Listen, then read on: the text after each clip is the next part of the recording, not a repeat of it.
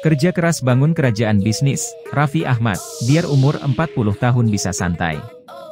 Raffi Ahmad mengemban misi khusus di balik kerajaan bisnis yang didirikan. Ia menargetkan diri untuk bisa bekerja lebih santai di usia kepala empat.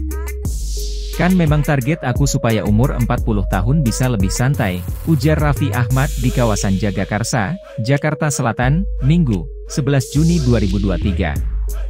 Raffi Ahmad sadar, dirinya tidak mungkin meninggalkan dunia hiburan. Identitasnya terlanjur melekat di industri tempatnya bekerja selama seperempat abad.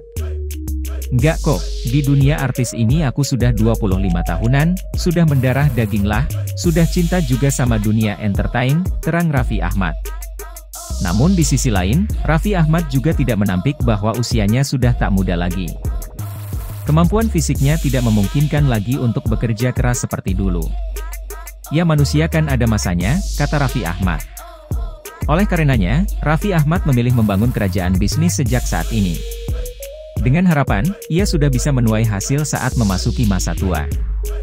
Jadi aku bilang pensiun juga bukan gimana-gimana, pensiunnya itu pensiun ngejar setoran, bukan pensiun dari syuting gitu, terang Raffi Ahmad.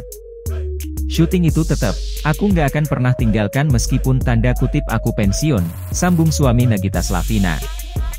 Raffi Ahmad sendiri baru saja memperkenalkan unit bisnis baru bernama Rojo Sambel yang merupakan hasil kemitraan dengan UMKM. Aku bilang ini salah satu langkah untuk support UMKM kaki lima. Saya memang lagi senang kalau ada UMKM yang bagus, papar Raffi Ahmad.